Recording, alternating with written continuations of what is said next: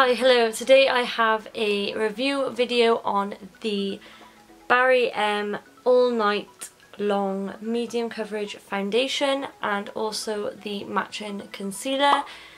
This is part of my 12 days of foundation so if you are new here make sure to subscribe to my channel and like this video if you enjoyed it.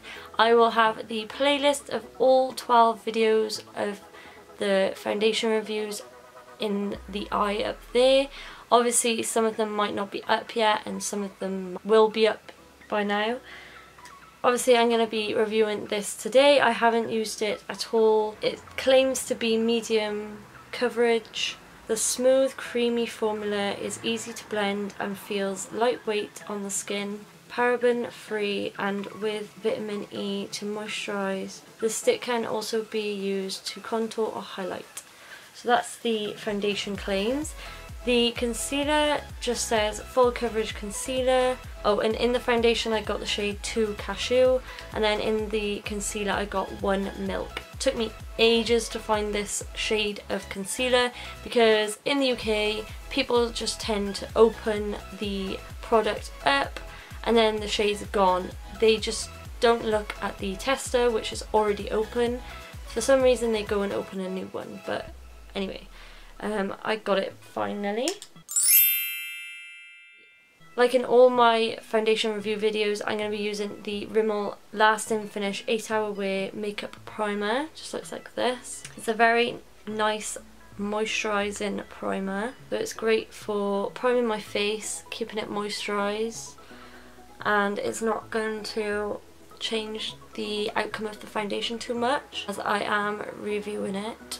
Okay, so to test this foundation out and concealer, I'm going to be using one side with a brush and one side with a sponge. So first, it comes with 8 grams and it says it's vegan. I really like the packaging. It's a matte, nice matte feeling packaging with the copper outlining. So love that. I'll show you how much product is actually in here.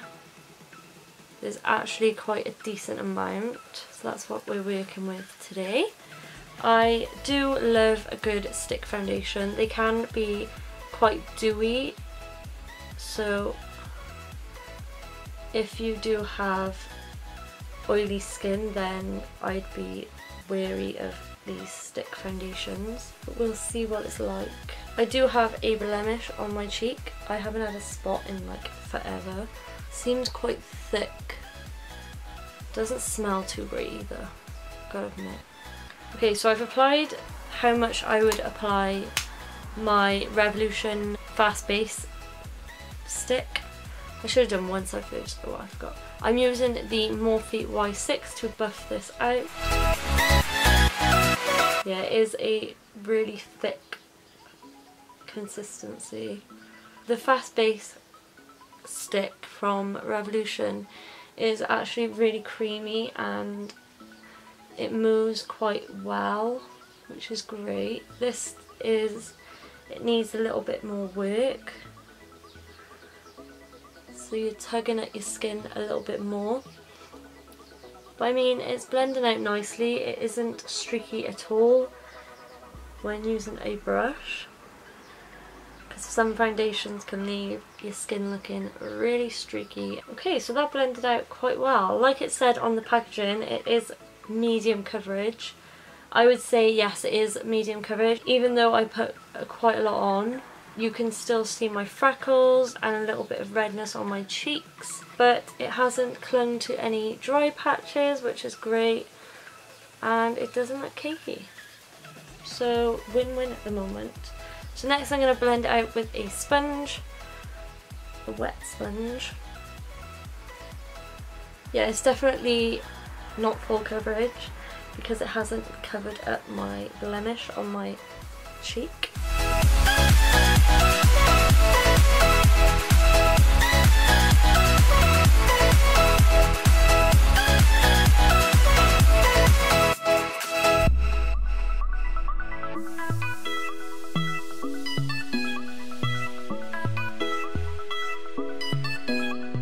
It's definitely got a dewy finish to it.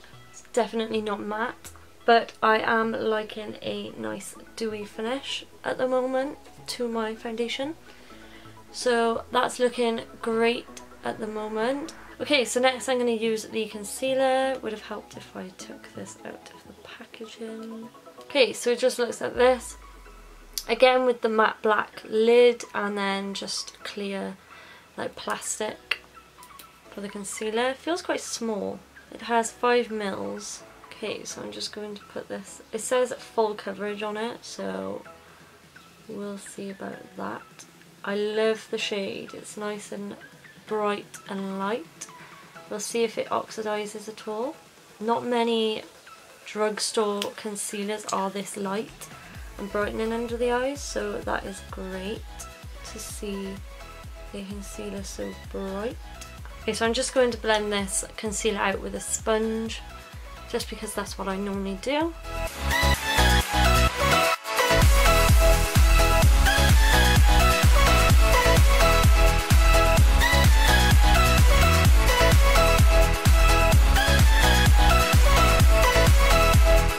This concealer dries down very quickly. It's kind of hard to blend out because it has dried down very quick but we can work with it. Very brightening under the eyes which I love. I'm going to quickly conceal my lids because I am doing a review on my eyeshadow which I will link in the eye and the description box so you can see what I used. Okay, I look like a ghost. Okay, so that concealer blended out nicely into the foundation.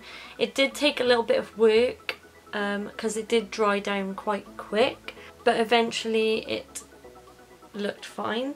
Okay, so to set the whole face, I'm going to use the Rimmel Match Perfection Loose Powder. Okay, so I'm going to go finish the rest of my face, including my eyes and everything, and I'll be right back.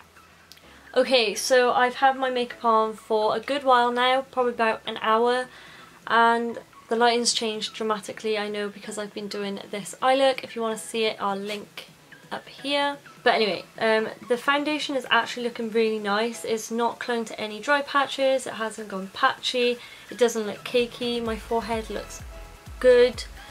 It has gone in my lines a little bit, but not as dramatic as some foundations, like proper full coverage foundations would.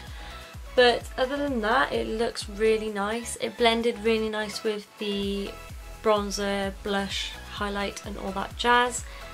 Yeah, looks really nice. If you want to know what's on my face and what I didn't put in this video, then Everything will be listed in the description box below, so make sure to check that out. Make sure to subscribe to my channel if you aren't already and like this video if you did enjoy. Make sure to check out my 12 days of foundation playlist. I'll link it up here and in the description box below. Make sure you got that notification bell turned on so you know every time I upload and it will help you know. So that's it for me today. I love you to the moon and back and I'll see you in my next one.